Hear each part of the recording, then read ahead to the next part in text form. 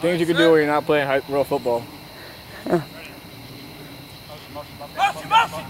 Sit middle, one outside, outside.